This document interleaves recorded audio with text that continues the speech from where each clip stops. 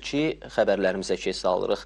Ağsuda şəhid Cahangir Mövlamovun xatirəsi anılıb. Şəhidin məzarı ziyarət edilib. Şəhid Cahangir Mövlamov Ağsunun Ağar kəndində Ziyalı ailəsində dünyaya gəlib. Cahangir Mövlamova vətəni sevmək, doğma torpağa bağlı olmağı orta məktəbdəki ilk müəllimi anası Sənubər Cəlilova aşılayıb. Ona birinci sinifdə özüm dərs demişəm ona.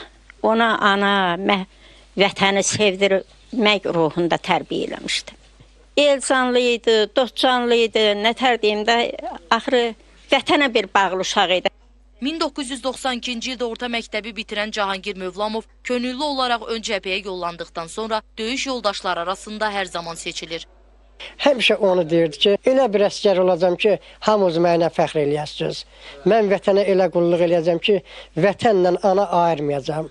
Və bu sözlərlə deyib gülə-gülə getdi. Axırıncı dəfə o, e, deməli bir neçə yerlərdə yaxşı qulluq elədiyinə görə ona böyük çavuş rütbəsi verdilər. Qardaşım çox mehriban qardaş idi.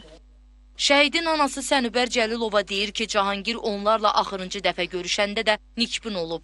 Son görüşündə deyirdim, amma öz-özünə müğayət olun, ondan sonra hər şey yaxşı olacaq. Qələbə ilə qayıdacaq. Getdi Kəlbəcərin bölgəsinə. O Murovdağda şəhid oldu. Cahangir Mövlamov 1994-cü il mayın 27-sində doğma kəndində dəfn olunur.